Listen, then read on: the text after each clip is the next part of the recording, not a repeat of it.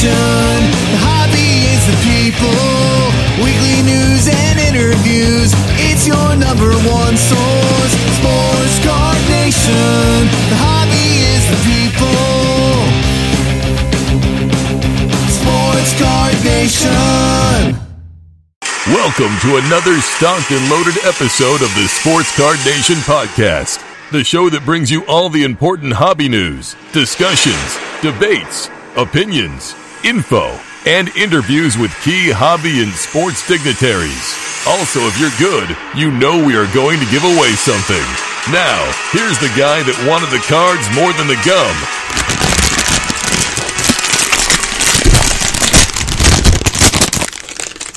John Newman.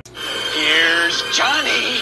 What is up? Episode 90 of the Sports Card Nation podcast, the Big 90 and the Big 90 show. We have a great guest. Uh, you can't do episode 90 and not have a great guest. Our guest today is none other than hobby veteran, hobby legend, if you will, Susan Lulgjuraj, affectionately known as Sooz from Beckett days and more recently uh, the face of Topps, uh, for lack of a better way of putting it. And uh, I'll say this: I think Topps misses her. Uh, she might not say it. I'll say it for her. But uh, you know, she did great things there. She's moving on in her career. A lot of people don't realize she was a sports writer for a while uh, as well. And she so she comes from the sports side. We'll talk a little bit about that with her today. And uh, you know, you may have heard me go on a rant a few weeks back uh, on the new money term that I'm not fond of, and we'll we'll also talk about that and kind of clear the air. And uh, you know, it's kind of what I thought. It wasn't meant in a derogatory way. I, uh, I still not my favorite saying, but. Uh, uh, it is what it is. It's also a poker term, and she plays poker. I play poker, so uh, all's well uh, that ends well. I was glad to have Sooz on the show. Like me, she's a fellow New Yorker. So I don't know. It's funny. My son, when I told my son who I was going to have on the show this week, he's like, "You seem to gravitate to all your New York City, uh, you know, folks." And uh, you know, he's he was born here in Syracuse, uh, where I was born in Brooklyn.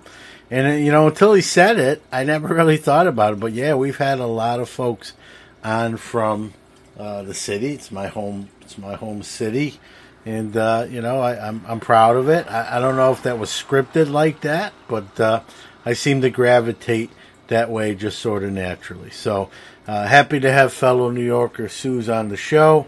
Uh, we're going to talk about uh, you know her career, uh, her career at Topps, uh, what she's doing now, the card chat, which is very cool and, and strikes up great topics and conversations in this great hobby. So without further ado, let's get this thing kick started. It has begun.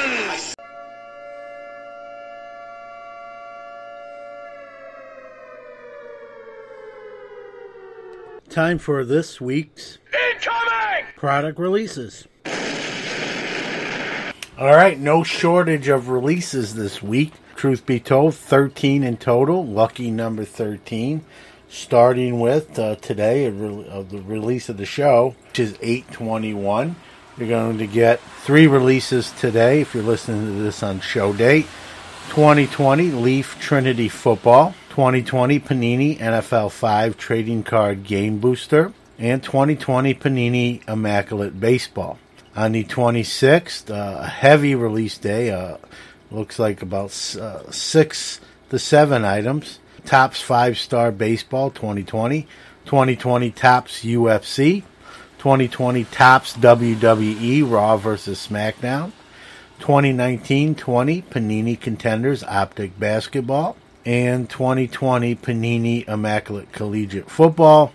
Also 2020-21 Upper Deck MVP Hockey, 2020 Panini Black Football, 2020 Upper Deck Marvel Anime, and two to close out the month on the 28th, 2020 Leaf Best of Multisport Premium Edition, and 2020 Leaf Valiant Football. So 13 items in total. A busy week to close out the month of August. Coffee's for closers only.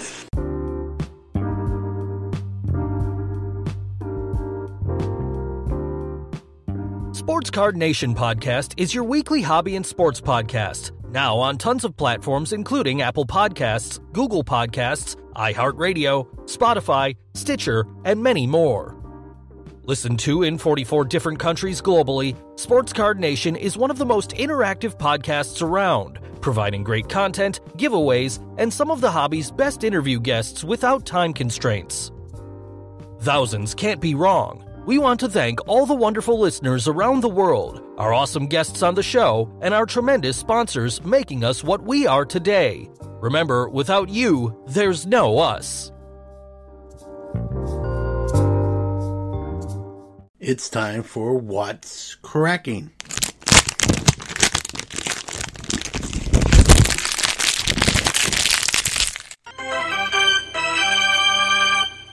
All right, let's start with some news on the PSA grading front. Actually, two stories in one.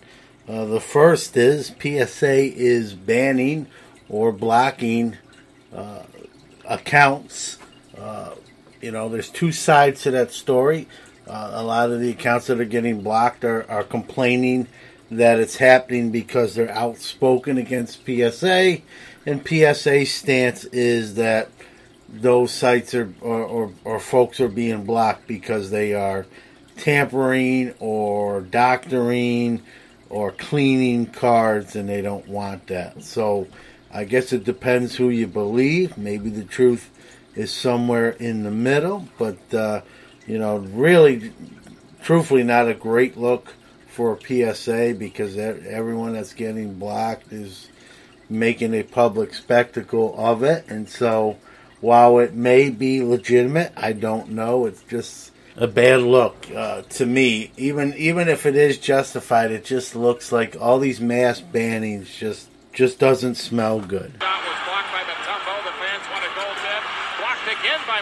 So on one hand, they're blocking an account, and on the other hand, they're looking to add employees. So if you're interested in working for PSA, attend their virtual job fair online. It is taking place Tuesday, the 25th, 11 a.m. to 1 p.m. That's Pacific time. PSA President Steve Sloane says we've hired more than 50 people since the pandemic began, and we're not even close to being finished. They are looking for card graders, customer service reps, customer service specialists, coordinators for the PSA set registry, operations manager, quality control verifier, receiver, research specialist, senior account manager, and sealers. So if you want to work for PSA, there's some openings Tuesday the 25th.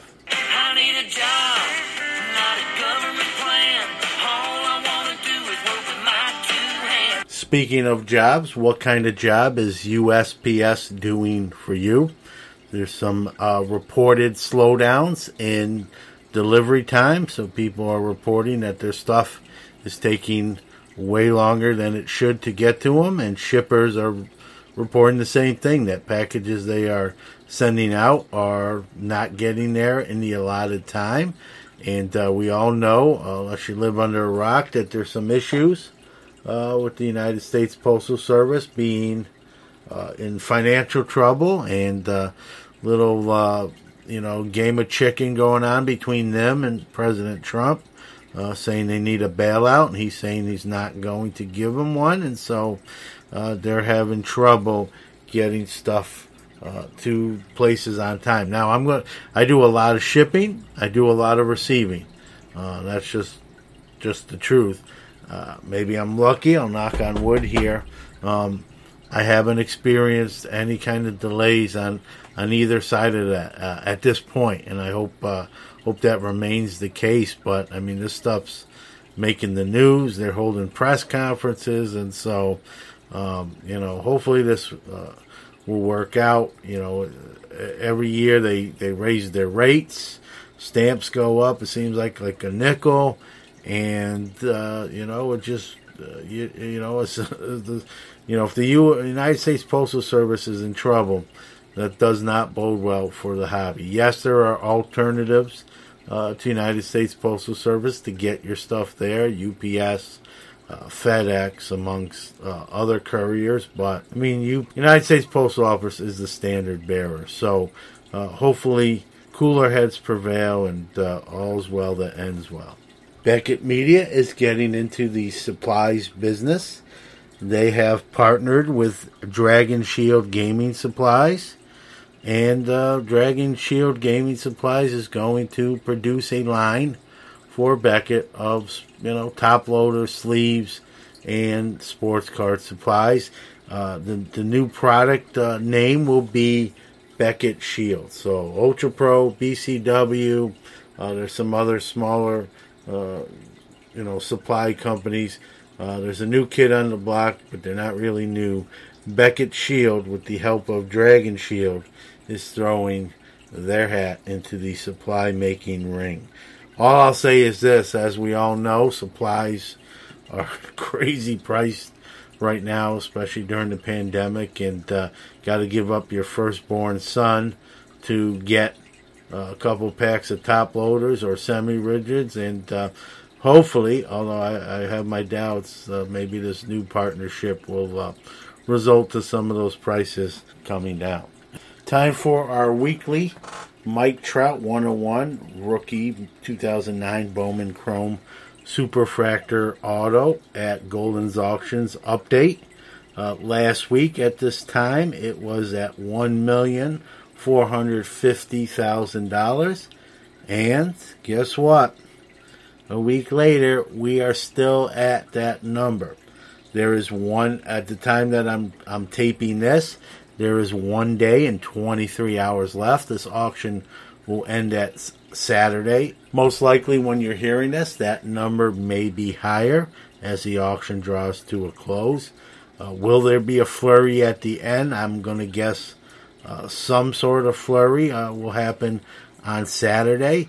Uh, most likely, we'll put this card over the $2 million mark and set the modern day record for highest total for a single card. Some people are predicting it will hit the $3 million mark. I don't know. If I'm going to venture a guess, I'm going to say yes to the 2 million, no to the 3 million. But you know how this hobby year's been. Stuff just gets crazier and crazier. So we may see our first $3 million card.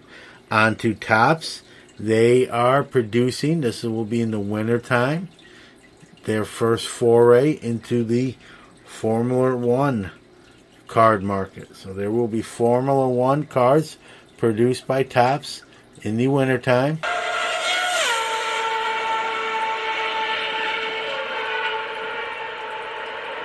While we're on the subject of Topps, let's talk about the Topps Project 2020. I haven't really kind of injected my own personal opinion in a while. I know I've had a majority of the artists on. We've had about half the artists of the 20 on the show.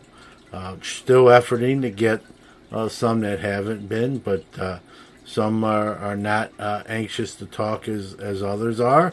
Um, but uh, you know, I'm I, while I'm a fan of the project and I have quite a few of the cards. Uh, you know, things have sort of settled down and cooled off.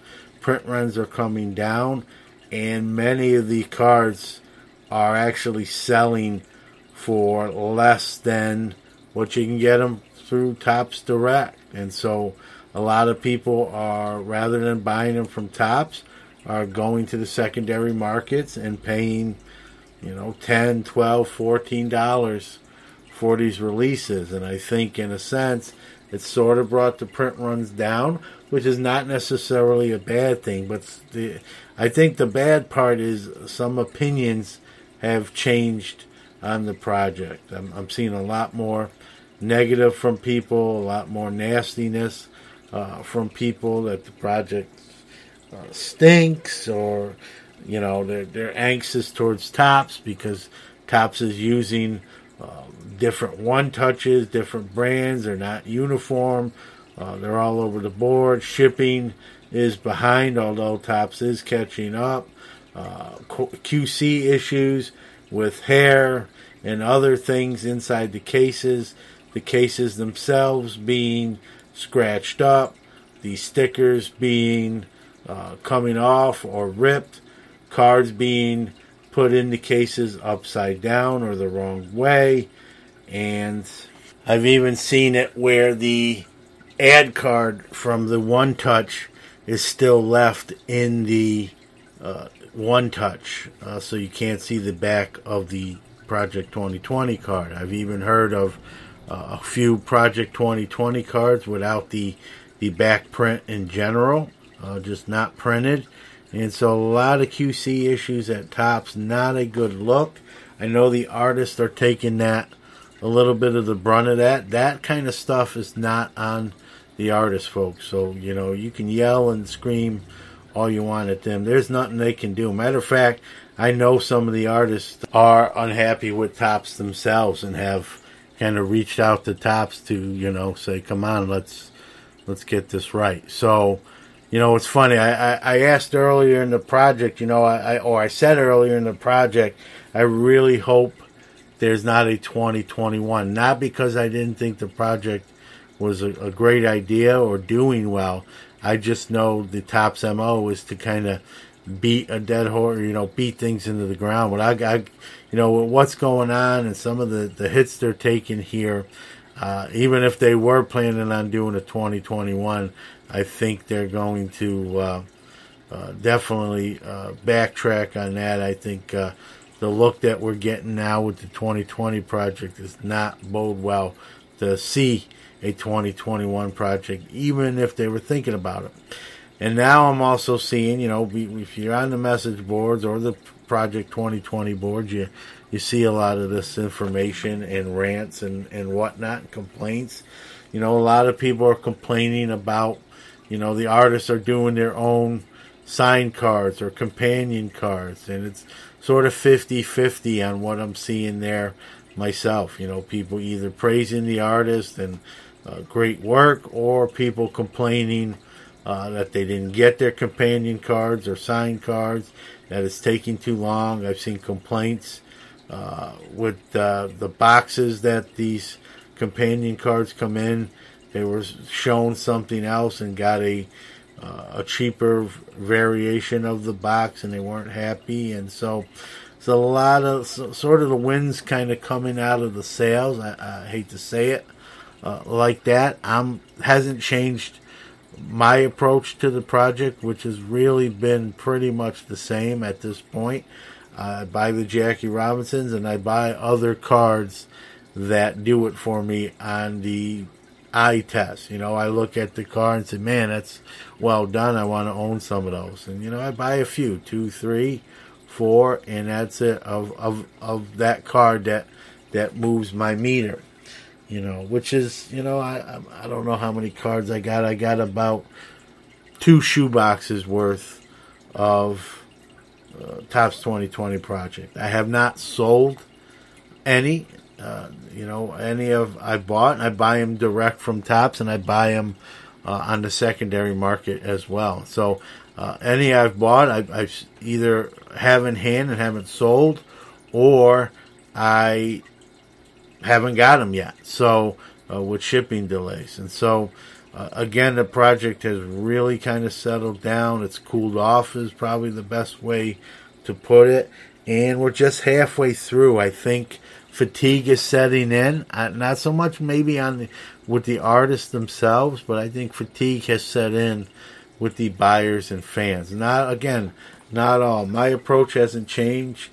I, I like way a card looks. I buy it. Jackie Robinson's, I buy it. But I, you know, not everyone is buying uh, under those circumstances. Some are buying to sell them, to flip them, and those folks are definitely uh, have either left the building or are in the process of heading to the exits. And so uh, the tone has changed. And some people have gotten nastier with it. And again, uh, you know, I think a lot of that's more on Topps, but you know, others are complaining about the companion cards taking too long. They're not packaged well. You know, this is nothing you can do, but uh, I've seen other complaints saying like the companion cards are selling for less than they paid on the secondary market than they paid from the artist, and so they're a little burnt, uh, you know, bent out of shape over that, and so there's just there seems to be a little bit more nastiness lately when it comes to the project, you know, uh, itself. And when you look at where they are in the project, they are literally at the halfway mark, card around card 200 with a 400 card release. And this thing, I'm, you know, for lack of a better way of putting it, is losing a little steam. And it'll be interesting to see halfway through if they can, you know, get that steam going again or how this thing uh, finishes. And so, uh, you know, again, I like the work, I like the premise, but I'm one person, uh, and uh, not everyone thinks uh, the same way I do, which is probably a good thing in itself. But uh, so we're coming down, we're at the halfway mark. Let's see where this project goes and what's what's around the next corner.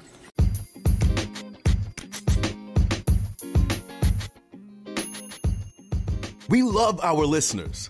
Without you, there is no us. We care about your opinions and feedback and invite you to reach out to us on any of our social media accounts. On Instagram at Sports Card Nation Podcast, Twitter at SportsCard NATI1, or email the show at SportsCardNationPC at gmail.com. We don't ask for much, but if you really like the show, give us a shout out. Tell your friends or give us a follow on our social medias. If you enjoyed the show, please give us a positive review on iTunes or any of the platforms you are listening on. Thank you.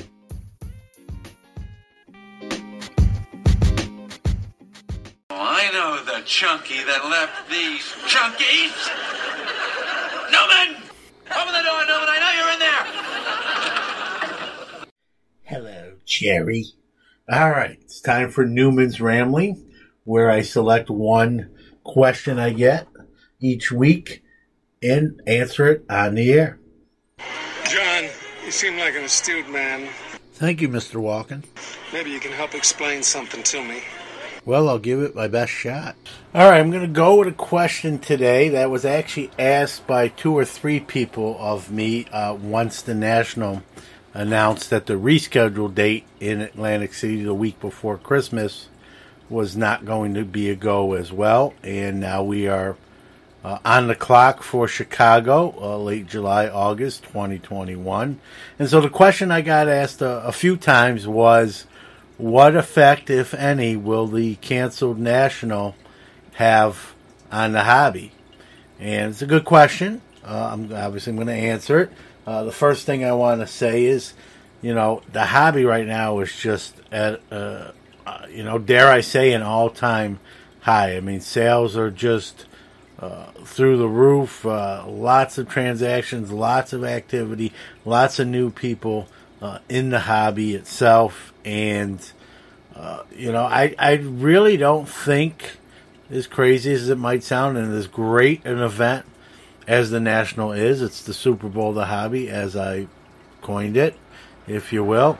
Um, but as great as it is, you know, and but the hobby's at, at a crazy level during pandemic times, I don't think, you know, sure, I'm I'm going to miss the national. I'm I'm disappointed. I was go had the whole week off. Was planning to be there the the whole week on the original date, and uh, obviously that wasn't going to uh, be uh, what's going on with COVID nineteen.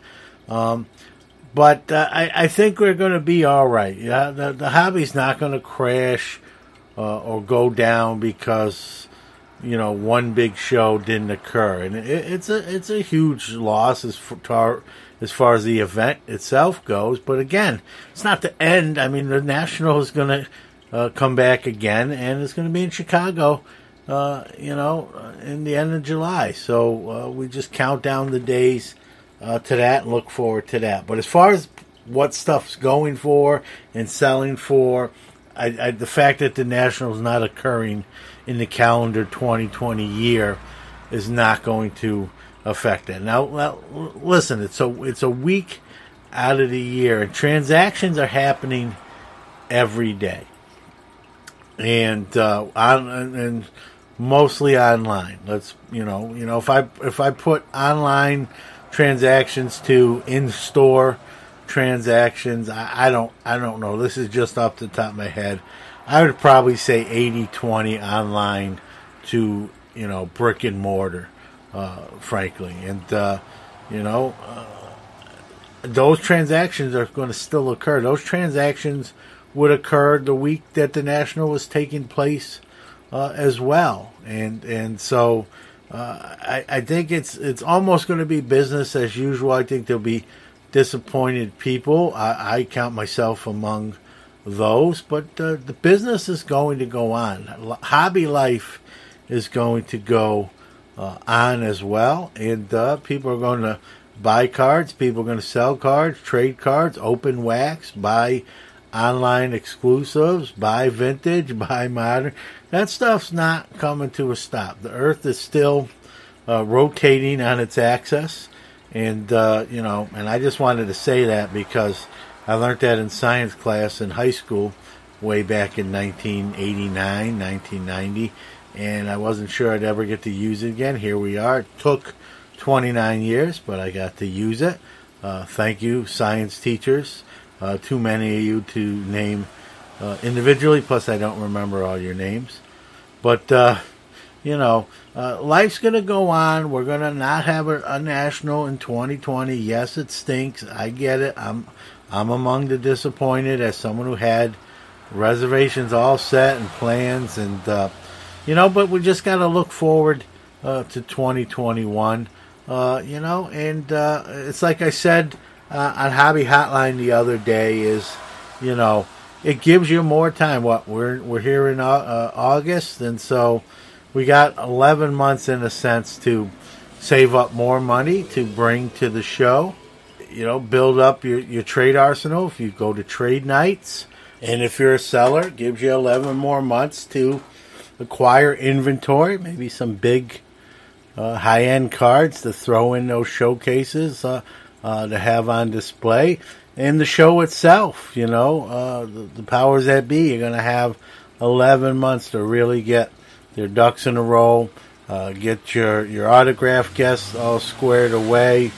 And frankly, I think 2021 in Chicago is going to be the biggest national ever. I'm going to go on record and say that. I'm sure I'm not the only one that feels that way, but you got a lot of new people in the hobby that are here to stay, like it or not. I know some people are not fond of that. I, am not amongst them. I, I'm open arms to all people in the hobby, as long as you're doing the right thing.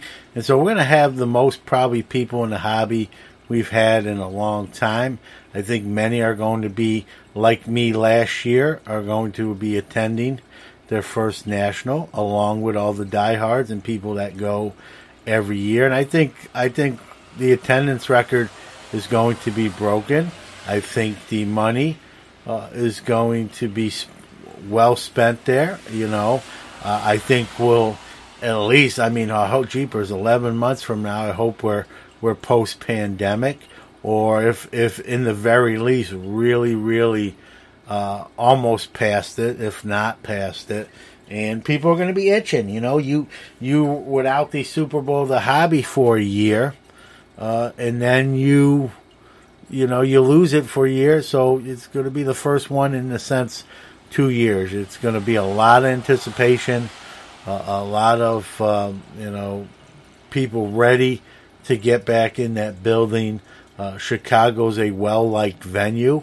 If you read what people say, and uh, as as someone who was there myself uh, last year, was uh, very well done in a great area, and so uh, you know I, I think it's going to be uh, record setting and be one that's talked about for quite a while after the fact. I think everyone's going to be itching for it. Dealers, attendees, even probably the autograph uh, uh, guests as well. You know, they they've taken a hit. You know, we forget that a lot of these retired athletes kind of supplement their income with these appearances, and so the pandemic's kind of squashed that, and they're they're probably itching and rearing to go uh, as well. And so I think it's going to be much anticipated, very anxious people uh, excited to, to have it again. You know, it's one of those things like the cliche goes, you don't know what you have until it's gone, and it was gone for a year,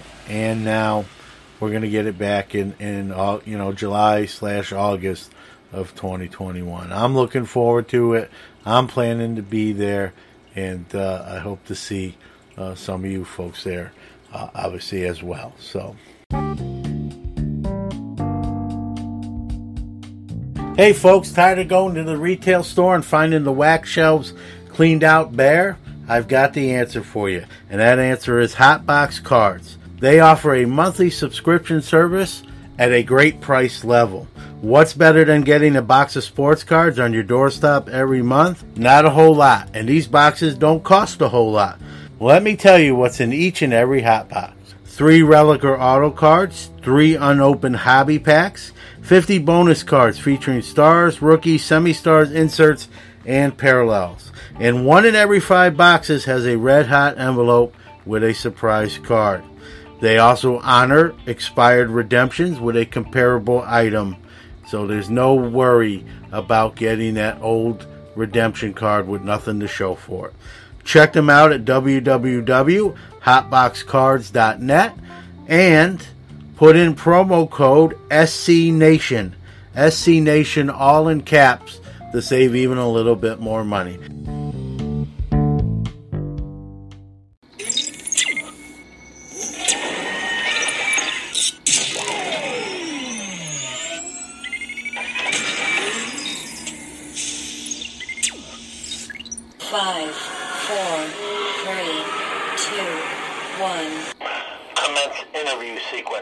Happy to have my next guest join the one on one card shop guest line. She's a, a hobby veteran, uh, is probably uh, the best way to put it. She's wore many hats. She was uh, a sports writer. Uh, she's worked uh, for Beckett as a managing editor.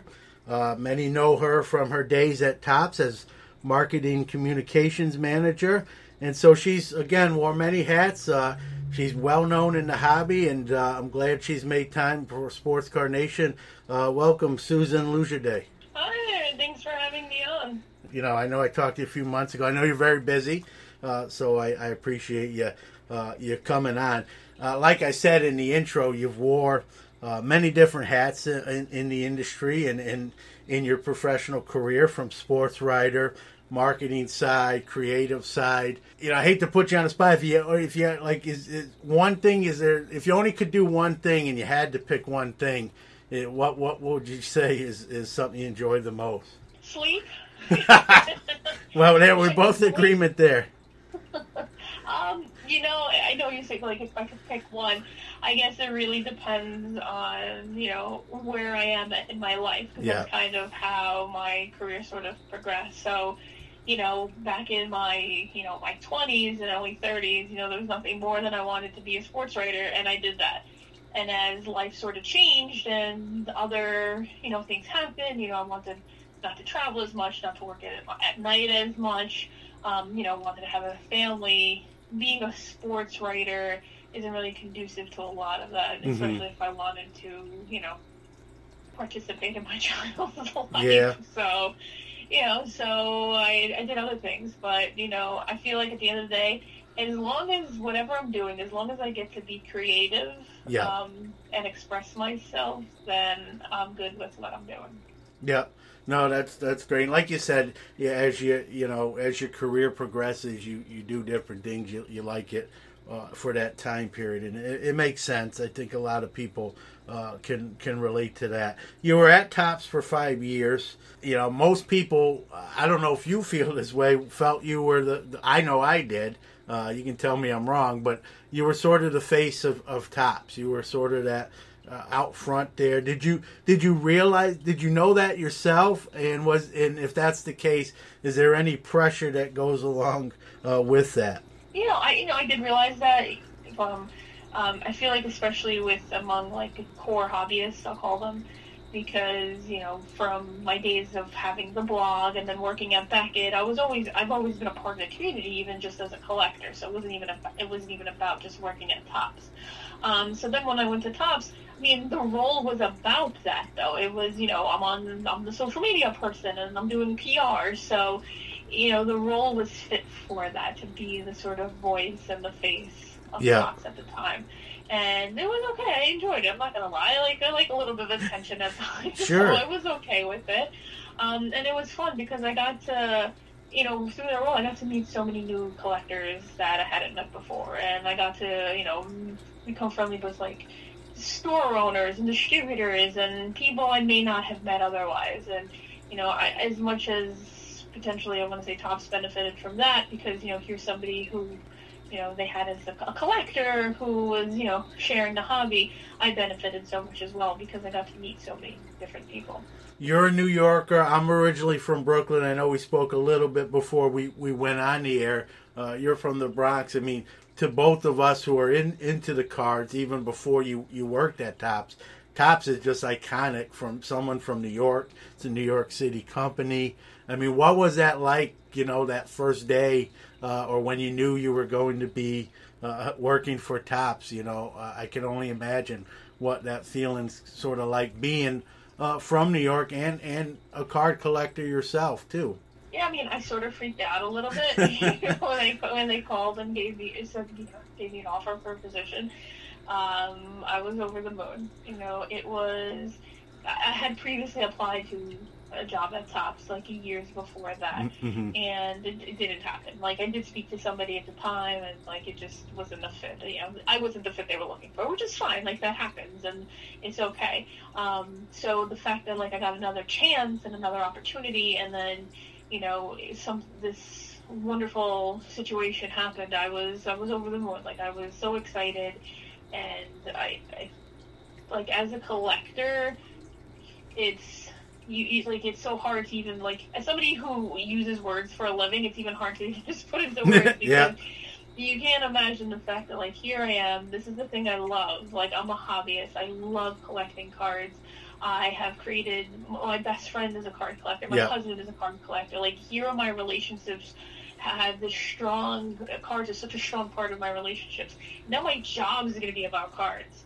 Um, and it did not, and you know, s- s- for some people, like it may have, it did not ruin cards for me either. You know, it was exciting and exhilarating, and I remember being there and just wanting to soak up as much information as I can because, you know, as a collector, you have so many questions. Like, why does this happen? Why do they do it this way? Why can't they do this? Why can't, you know, it's like you, you think you have all the answers because as a collector, you see one side of it and you think you have like answers as to like why, you know, why can't the checklist be out earlier or why Yeah. are the same pictures used again or why um, you know, if whatever the question is, and then you get the answer, and you're like, oh, that makes sense. You yeah. and I may not love the answer either, but from a business standpoint, and I think some people need to realize, like at the end of the day, Topps is still a business. Yep. It makes sense. Yeah. Now, obviously, you worked there. You were on the inside. I'm not uh, going to ask you for any secret recipes or anything uh, you can't say. I know uh, I'm on, I'm on the outside, just as a, a, a, you know a media, a collector, and, and, and someone who sells cards themselves.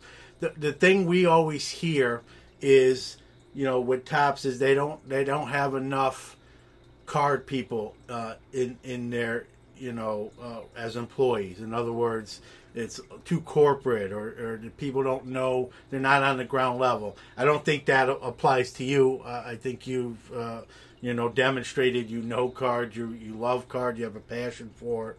Um, but you know, at the time, you were only one person. What do you say to that rap? I know you're not there now, but uh, number one, I guess, did you ever hear that? And and what was what's your take on, on that?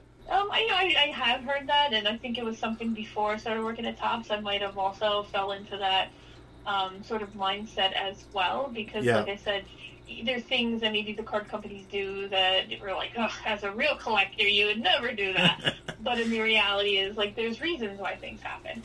Um, so I'm, so now having worked there, I respectfully disagree with that Yeah. notion because I've had there's people even now who work at Topps who I, you know I'll pull a cool card and they're like that's so cool. you know it's like they get excited about the cool cards and just because like they're not on social media or on Twitter like talking about their job at Topps doesn't mean that they're not there. So I just think that they're just not as front facing you know, for Topps as some of the as other people are, and you know, f- from people for at the top, you know, at the top of the company, you know, maybe they're not so specifically a collector right now, Mhm. but they were a collector at some point in their life. You know, like they had card collections, they had memorabilia collections. Like they still they do get it, and but like I said the other day, there's so there's it's a business and there's people to answer. There's always somebody to answer to, no matter what job you have, and it's the same thing at Topps. Yeah. And this is going to be a compliment towards you. You know, you were always very vocal out front, uh, passionate about not only cards, but uh, Topps as well as an employee. And, you know, since you left, I know it's not been a long time, but I think, you know, that's sort of missing there. I mean, everyone has a different personality.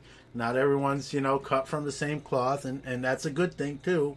Uh, if we were all the same, that'd be no fun. Um, but I think sort of, you know, when you left, that that's those are big shoes to, to replace, if, if if I can say, and uh, uh, you know, it's going to be very difficult. And I think uh, the difference is is palpable. I mean, you know, what I mean. I, I know you don't want to say anything negative, but kind of what are your thoughts? Uh, you know, even hearing that. Um, I will take all and every compliment that's okay. Um, but I also, I, I, I think you're right in the sense that it's just different. Yeah. I don't want to say it's any worse or it's any better. It's just different. You know, the priorities are different, and I can't speak as to what they are now because I'm, I'm not there. Yeah. Um, I've been gone for roughly almost a year now. You know, I left in early September, so it's been almost a year. So in that year, you know, so many you know things have changed, new personnel.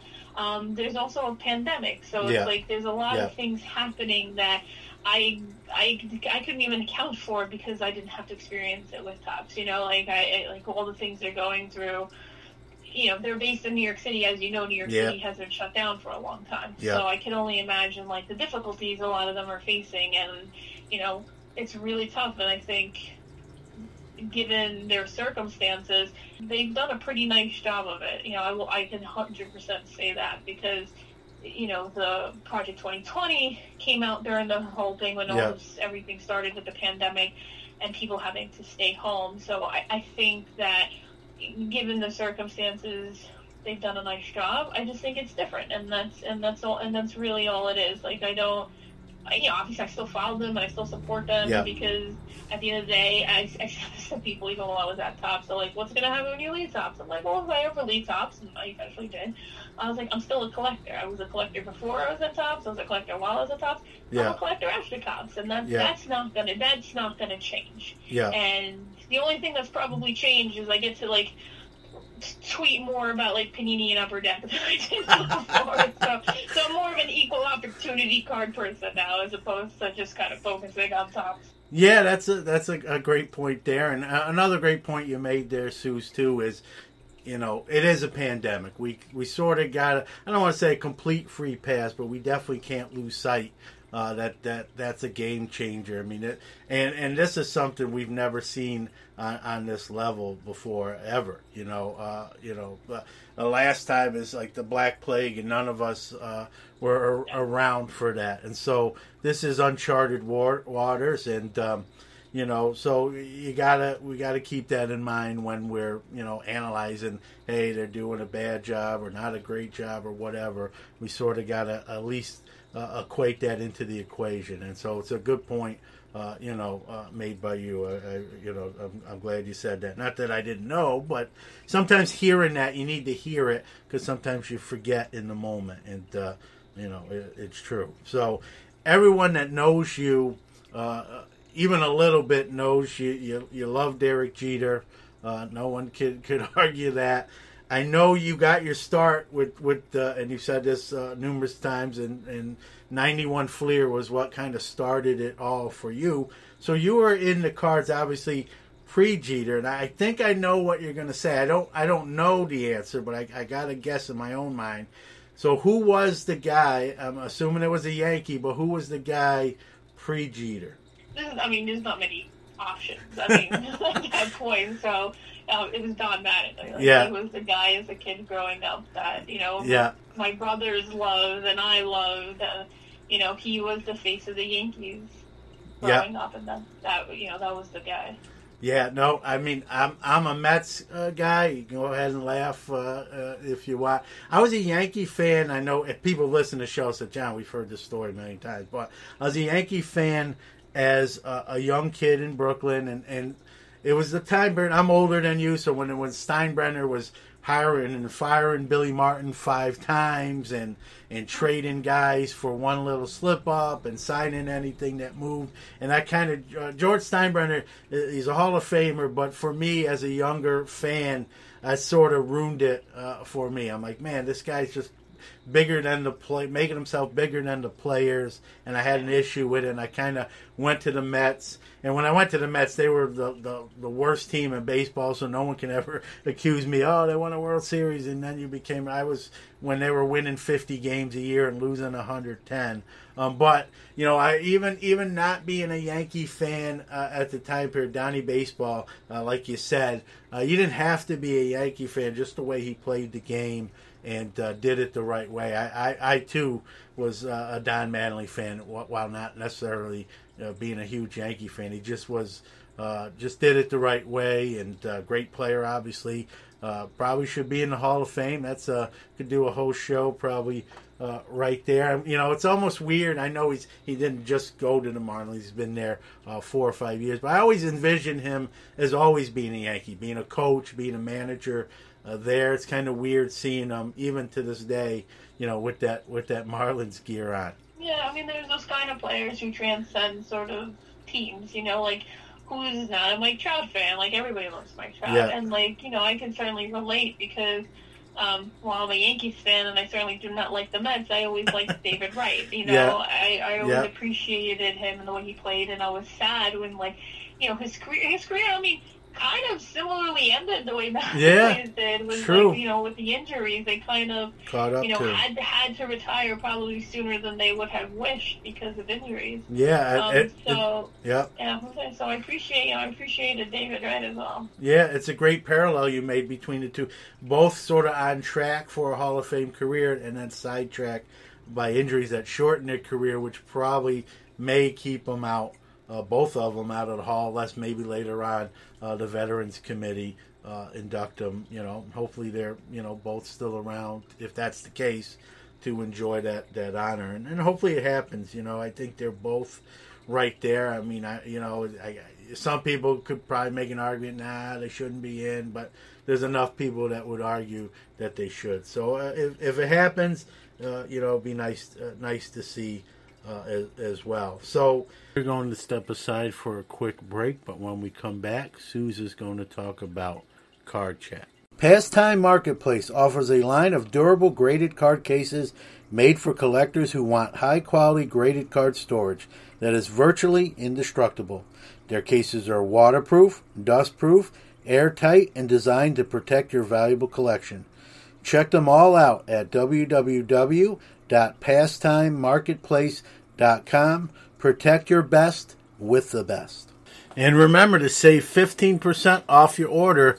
Use the promo code SCN15. That's capital S, capital C, capital N, 15 for 15% off your total order at pastimemarketplace.com.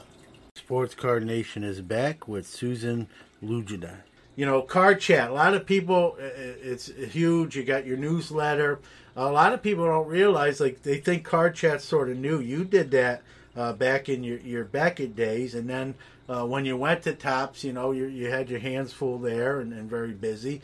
And now that, you know, you've kind of uh, brought it back to life, I think it's great. It's, you get that interaction on, on, on great topics. Um, you know, did you know kind of speak to the dynamic of you know when you went to Topps, it kind of you, you you didn't do it or not as much, and then you know now you, you brought it back and, and what what it does.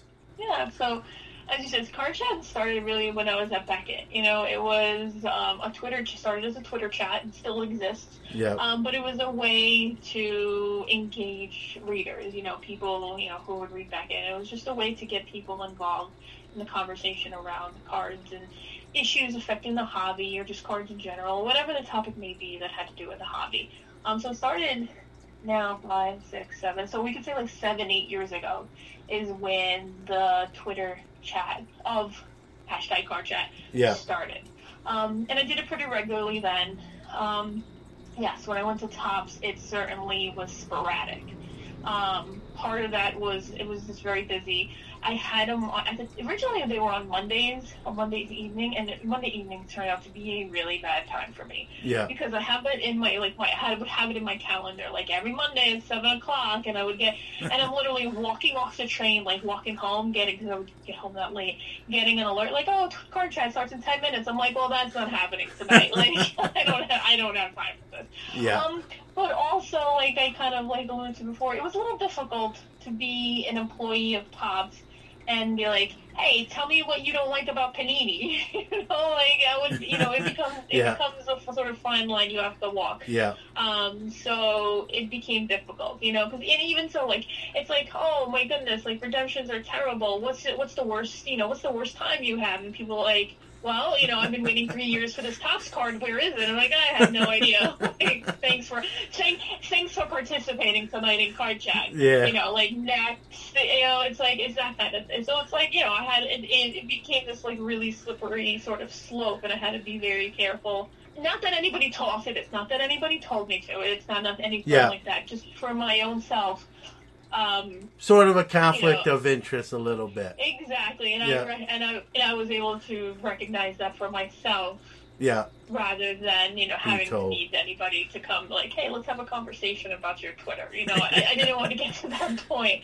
So I mean, for for better or for worse, it kind of was very sporadic because you know I was you know just trying to be careful with you know the things I was saying online. Yeah. Um, but you know, I don't work at Top anymore, and I'm still a card collector. Yeah. And I guess I still feel a need to be creative. Yeah. So it, you know, the card chat then you know came back, the Twitter chat because I still I'm still a part of this hobby, and I always want to be a part of this hobby. And this is such a fun way to collect with connect uh, connect with collectors. Um, but I love to write, and writing is my preferred Mhm. of medium. You know, people have podcasts and videos, and every, I just love the written word, writing and reading and all of it. So for me, I also wanted to find that outlet for me. And I had a blog, but I wasn't sure like blogging was still what I wanted to do. Mhm. And the more I was just like reading things, and somebody who's also a marketer, me, um, you know, I'm I, I'm well versed in just the different mediums of things that are out there. Yeah. And I saw, yeah, newsletters have been becoming more popular Yeah. um, especially amongst journalists, um, journalists who have been laid off or anything of that nature. Um, more so paid newsletters, but I'm not really interested Yeah. right now in like charging people for my card chat newsletter. Yeah. But still, I was like, this this this could be it. This could be my outlet. I want to create a newsletter around this card chat that I've created, sort of the brand name. Yeah. And it's you know my husband also writes for it, but again he's Mhm. a card collector and also a journalist. So you know we you know decided yeah let's do this, and the reception has been amazing. We have hundreds of subscribers, hundreds. Like Yeah. I was shocked with with the amount of people who signed up for this newsletter and who continue to read it every week because you know you never know regardless of how good something could be or whatever you could, you, you could put it out there and it could be like crickets and you have no Yeah. idea you know and the fact that collectors have really embraced it i'm so appreciative of that and it just continues to sort of fuel me too to like all right like now it's once a week right now the newsletter just once a week right now but it's like now what can I write about? Now what can I do? Like, how can I take everything I've learned with my experiences of just being a collector and, and working at Topps and working at Beckett, and how can I take that and put it out there for people so that they can have a better understanding of the hobby Yeah. and I think I'm doing that. You know, Yeah. especially you know a couple of one couple of newsletters ago where, you know, I this I wrote about how rookie cards are done, especially for Topps Update. I think that was very informative for people because they didn't understand. Yeah. So um, that's what I'm trying to do things like that. So that, like I said, so people, so those when they do have those questions, like why does a card company do X, Y, Z? At least even if they don't like the answer, at least maybe they have an answer for them. Yeah, and, and like you said, you've kind of merged uh, both worlds, your creative side, your writing side, and it's it's taken this form uh, with Card Chat, even to the you know like I like we you know you said you've done this before. It's not really new, but you've kind of uh, bumped it up a notch, and then now you know not working for a card company per se, you're sort of neutral, and you can ask questions that maybe before, like you said, you kind of censored yourself. Now you don't you don't have to do that. Yeah, I'm also not very like antagonistic. Like that's just not in my that's not my style. Yeah. Uh, maybe in person, if I saw you in person, I'm more inclined to actually have like a more negative conversation in person Yeah. than I am on like on social media. I would prefer if we're going to have a discussion where we're not going to agree on things and perhaps like it's going to be for lack of a confrontational. I would prefer those conversations in person Yeah. um, rather than on like No. behind a keyboard. I feel like I'm the opposite of a lot of people. Yeah, uh, and, and that's a great segue because I'm, you know, I was raised by my grandparents, and my my grandfather always used to tell me, like Johnny, if you can't, you know, if you can't say it to someone's face, you shouldn't be saying it, and and so I, I get what you're saying, and, and that's a good segue because. Um, I, I read most of your, uh, you know, card chats when I see them, or I'll respond to them and, and give you an answer. And one thing I read, and I, I'm glad uh, I know I spoke to you a little bit before we, we, we came on about it because I don't like to, to ambush people. That's I don't think that's a very nice uh, thing to do. Well, one of the, the questions you asked was, "What do you think of all the new money?" And I'm paraphrasing; it might not be exactly the word like that. Well, what do you think of the new money coming into the hobby? When I read it, and I, you know, I know of you. I, I don't know you personally. Um, when I first read it, it, it kind of struck me wrong because I'm one of those. You know, I started uh, at seven years old in 1979 with a with a Topps baseball pack. Got a Reggie Jackson like the fourth card in, and the rest is history. And I'm, you know, I've, I've been, uh, uh, I've worked in a card store. I worked, I did my first show at, at age 15. Had a store from the age of 20 to 24, and so uh, you know, I too wore different hats in, in the hobby, not working for companies, obviously. And so I'm always kind of welcoming to sort of everybody. I know everyone, you know, maybe doesn't think along those lines, but, you know, we, we, we've heard the term flippers or fly by nights and invest investors and, you know, I, I'm, I'm sure I'm forgetting some. And so when I read that, it just kind of struck a nerve because to me, sort of new money almost sounds sort of not welcoming. You know, I, I always say new hobbyists that are coming into the arena or the hobby. Um, new money almost, and I'm not saying you meant it that way, and that's what I'm going to ask you is. I, I take it if some if I was new today, uh, I'm not. I'm old and, and started in 1979. But if I came into the hobby today and someone says, "Oh, your new money," I wouldn't really take that with like a, a term of endearment. So I, you know, now that I get to talk to you, I just sort of you've, heard my side, I, I- and I've rambled on for two minutes, but sort of you know where you were going with that, or or may, did I take it out of context, which I think maybe I have. So I love new people entering the hobby. Yeah. And anybody, if you if you if you actually go through my tweets, you'll find like I've been pro pretty much lots of things that bringing new people. So like with Gary Vee entering the hobby, I've been pro that because I it brings in new it brings in new people.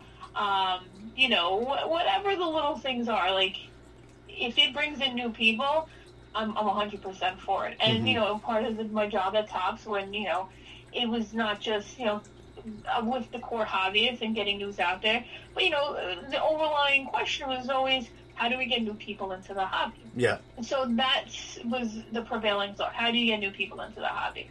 So when I said new money, it's not so much. It wasn't. I don't. I don't. I didn't write it as a negative, but there is something happening in the hobby right now. Yeah, oh, no where doubt. there's a lot of there's a, a huge influx of money, and it is new money because it's people who aren't necessarily who weren't collecting six months ago Mm-hmm. you know, six months to a year ago, these people were not in this hobby, which is fine. I'm okay with that. I, I support it. But it, the reason the question gets asked is because I tend to, like, when I usually do card chat, my questions are more neutral. I want other people to answer those questions.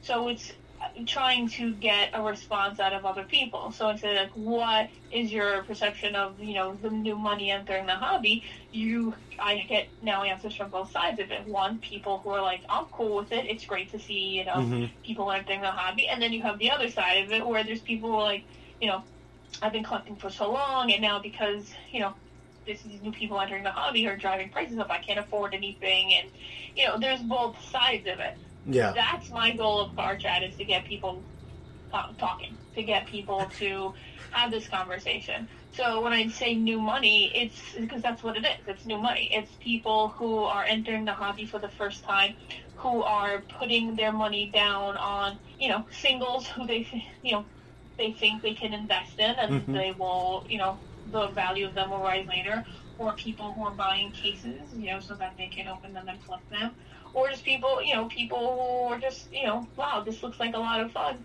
and buying, going to Target and Walmart and buying, you know, out. buying up the shelves, you know. I didn't look at new money as a negative. Yeah. Um, that's just, I guess it's just not my style. I didn't see it as a negative. But, you know, I can see why, where you came from on that, but I didn't see it as a negative. I think, you know, your, the sort of reaction to the term will be dictated on your experiences. Yeah. And if you've had experiences where people, you know, meant it negatively, I can see why you would think that. Yeah, I just and I, I I'm full disclosure. I that week I went on my show and in the intro I went on a rant, which I, I don't normally do, and I just kind of went off on a tangent. I just I kind of said I don't like the term, uh, you know, because it's sort of not that you meant it in a negative connotation, but it's sort of when you know it's almost like a poker term term like new money at the table, you know. You're, and- you're also talking to somebody who played poker for years and years and years. And me so too, me new too. Money also means something to me as well in Yeah. that sense. So that's probably why, because it's part of my sort of Lingo, lingo. It's yeah. probably why I use the word. the yeah term. But i appreciate you you know you, you, you're answering it and uh, you know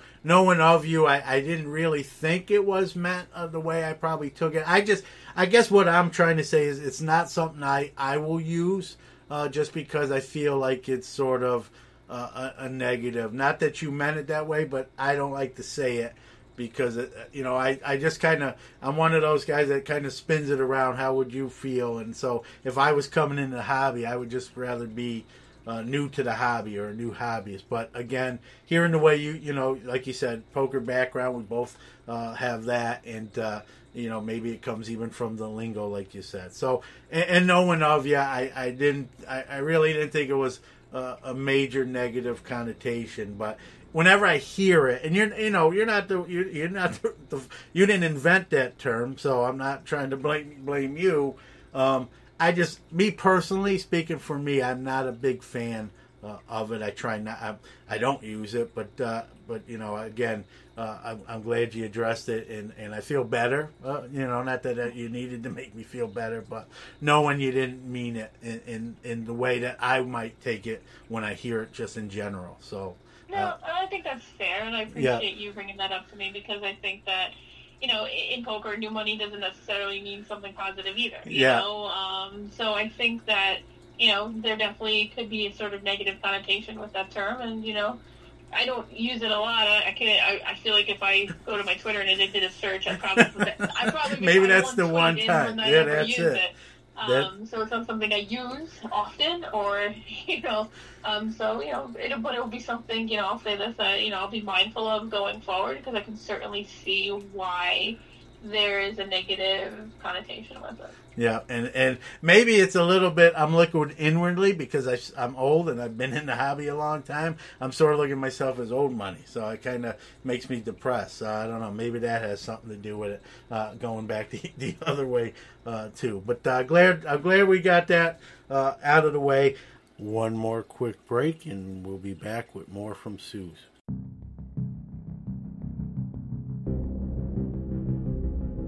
The StarStock selling platform is live and booming, quickly becoming the premier sports card marketplace.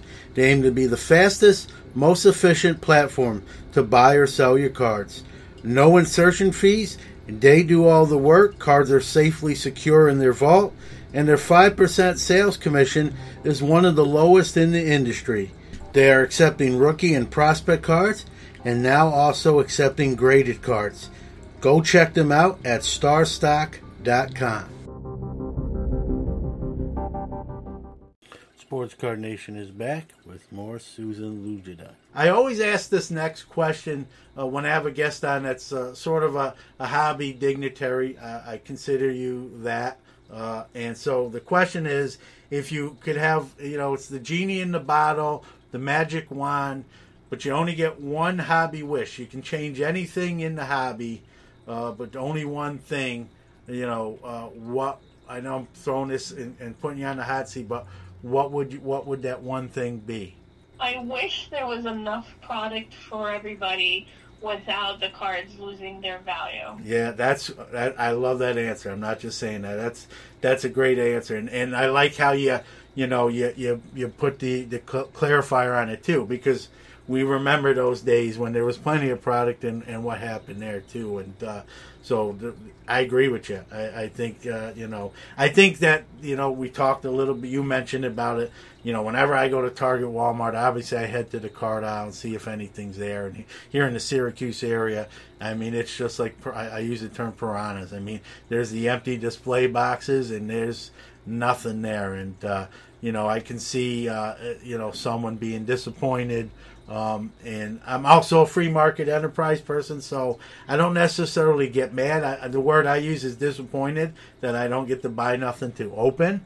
But at the same time, someone got there first, and and to the victor goes the the spoil. So, but like you said, that that would be definitely a huge difference maker because you you know you see all the posts just as I do online where people are are upset or complaining or other people are posting pictures of their shopping cart with you know three dis- display racks of, of various products checking out and uh, that's going to be product someone else is not going to have the opportunity to purchase. So I, I, I think that's a huge you know and you're the first you know I've asked that question probably eight nine times on the show and you're the I, I might be the best answer because I think it's a huge uh, issue uh, if you want to call it an issue and uh, the fact that you clarified it uh, as well, a, a, good answer. Yeah, I mean, it's probably the things on top of my mind because, yeah. like, I'm like, hmm, well, like, I wonder if I could take a ride to Target and see if they have anything. First of all, I've been to Target probably once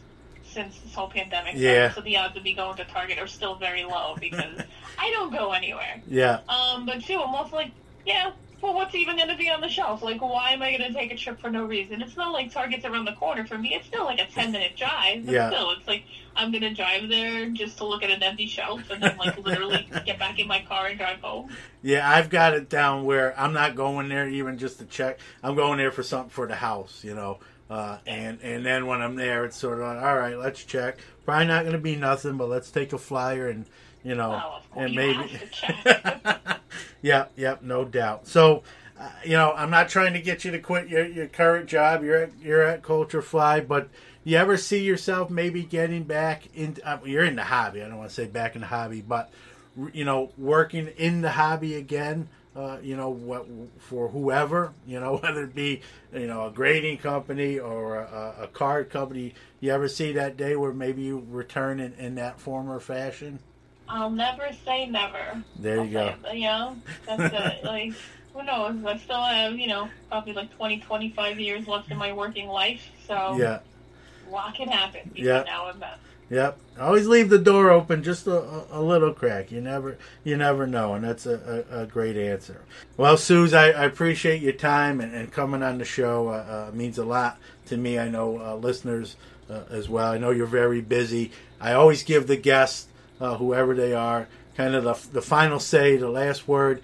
Any socials you want to give out, websites, talk about you know where people can see what you're doing, card chat.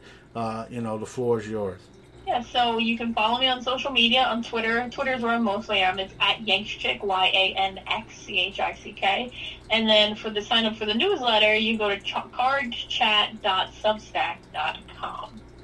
Yep, and I'll put those links in the show notes as well. So if you miss it uh, on the air, you, you can just go to the show notes and it'll be uh, right there and, and, and ready for you. So, Sooz, again, thank you. Uh, stay healthy, stay safe. Uh, you know, as a fellow New Yorker, I, I, I have family there still as well, so I, I know.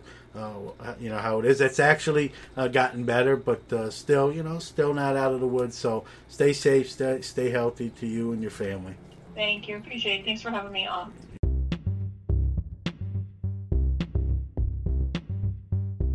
One of One Card Shop offers a tremendous breaking experience, great customer service, and they're constantly pulling fire.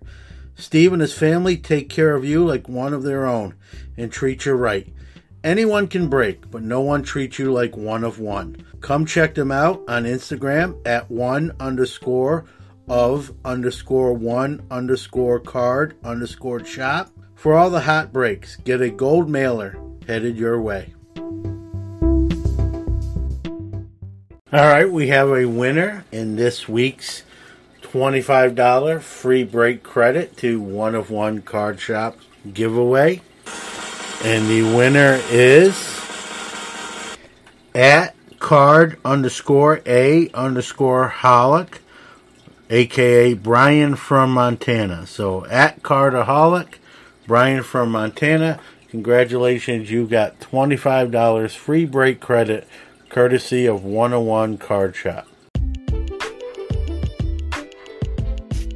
Let me tell you about Iron Sports Cards and Collectibles. They're your number one source for all your PSA and now SGC submissions. They offer various service levels at the lowest prices around.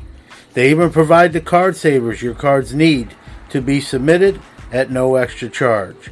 Their elite status helps improve turnaround times, and their chat rooms keep you abreast of your subs and the status of your cards. What are you waiting for? Contact Rob on Facebook on Iron Sports Card Group. That's Iron Sports Card Group on Facebook. Or get a hold of Rob on Twitter at Iron Sports Cards. All one word at Iron Sports Cards. They'll take care of you.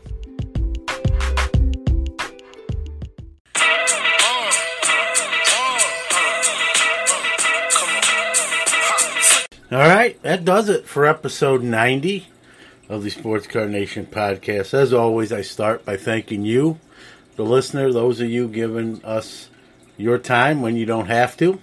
Without you, we don't exist, and I don't get to do something I really have a passion for and enjoy. And you don't get to hear the great guests, such as today's guest, Sooz, and uh, was happy to have her on the show. And as we all know, she's a great advocate and ambassador for the hobby. Uh, even even in a way, in a weird sort of way, more so now. Uh, you know that she doesn't. She's not at Topps. That uh, she can kind of say more and do more, and uh, uh, it's refreshing, and I'm sure for her as well. So I want to thank her for coming on the show uh, again as well. next week's guest is Matt Greeny. He is the CEO, if you will, of MySlabs.com, a site that sells graded cards, and more specifically, it's where you can list your graded cards in wax for sale. And I love the site. I've done well the last two or three months. I've moved a lot of my eBay stuff uh, as far as graded goes and wax goes off eBay to my slabs. They have a 1% selling fee a lot better uh, than the big bad eBay. And uh, we're gonna have Matt on to talk about a site, how it all came about, talk about those low fees, and I'm gonna I'm gonna thank him on the air. Uh, save me a lot, a lot of eBay fees uh, with the sales I've made on my slab. So definitely tune in uh, to hear uh, from Matt. Another thing I want to talk about, I can't go over all the juicy details just yet, just sort of a teaser myself and Drew Herndon from Let Me Get That Potograph, as you may or may not know, are pretty good friends, and uh, we're talking about doing a show uh, together, a live video show, and uh, that's in the early works, and uh, it's going to be the kind of show where we uh, do panels, whether it be about grading, kids in the hobby, one topic, uh, scheduled guests that come on, and it's going to be fun. It's something we both wanted to do, sort of individually, and then in talking to them, let's like combine forces and really tackle these issues. We have decided on a name for that program, but at this time, I'm going to keep that under my hat. So uh, look forward to that in the next month or two as we uh, launch that. And uh, we're, I, you know, I don't, I don't want to speak for them, but I think I can. We're both excited uh, for that. I think uh, you guys out there, when it comes to the content creation field, are going to enjoy it, and we're going to bring you some great guests on video. And uh, so look forward to that very soon. And speaking of coming soon, I'm not sure what episode he's going to appear on, but here in the next probably few weeks, uh, it's going to be the first guest I have where you probably will not know the guest's name. And I know that sounds weird. He's from more of the Instagram side of things where he's very well known. He's known as the card killer. He does his own cards. He's definitely uh, unique. He also hails from New York City. I got a soft place in my heart for, for my New York City peeps, to be honest with you. But uh, Card Killer's going to come on. He just did a charity sale of a Pat Tillman custom, and uh, we're going to talk to him. Uh, you know, he doesn't do a ton of these interviews, but uh, he, he you know, kind of reached out to me, said he listens to the show all the time. I knew about him, and I'm going to be honest with you. My perception of him changed from what I thought of him when I first saw him to what he's, you know, I don't want to say morphed into, but, you know, developed into. And he's an artist in his own right and uh, doing great things and, and fun things uh, with cards. Definitely uh, great with, with storytelling and setting things up. Card Killer from Instagram. You, you, some of you may know who I'm talking about, and if you don't, go check him out on Instagram. And in the next few weeks, he's going to be on the show, and uh, looking forward uh, to that conversation. Maybe we can get him to spill the beans on his true identity. So, and and the last thing I want to close with, guys, this was episode obviously uh, 90. We're approaching episode 100. That was a big milestone when I started this. I, you know, I had no idea whether we're going to make it to 100 or not. Uh, looks like we will, God willing. And we're going to celebrate that. We're going to do something. I haven't announced this officially yet, so I'm going to announce it right here in the closing. Episode 100 is going to be the first ever live episode of Sports Card Nation. It's uh, unless something gets derailed, uh, the date is going to be Saturday, October 31st. Halloween. It's going to be in the afternoon. We're also going to put the podcast out in audio form as well. Uh, I've locked up the guests that I wanted to have on episode 100. There's going to be three guests all on at the same time uh, via StreamYard, and uh, again, it will be simulcast. We're going to give away a lot of stuff, okay, as we customarily do, but we're going to celebrate in style. It's going to be our celebration, but you're going to get the gift. So, uh, as I've said before, we are giving away $100 cash or PayPal, if you will. The winner is going to get that PayPal. Uh, some of these sponsors are going to come up uh, thankfully, uh, and I appreciate them with some prizes. I know uh, Pastime Marketplace has already committed uh, to give away two of their great uh, waterproof, dustproof, airtight, tremendous cases, and so two listeners are going to get a Pastime Marketplace case. 100 bucks cash. We're going to give away cards, probably some graded subs. I mean, it's going to be a bonanza. You know, we do episode 100 uh, right, and uh, you're going to be the benefactor uh, of it. So we're we're counting down now with with episode 90 being in the books. So we got nine episodes till we hit the big hundred again live on Halloween, barring any unforeseen circumstances. So uh, again, I'll just close with uh, thank you, uh, everybody, from my guests to the sponsors uh, to you, the listener, ultimately, uh, none of this matters without you being there for the show. And uh, I can't thank you enough. And, you know, be safe, stay healthy, and we'll see you in seven days.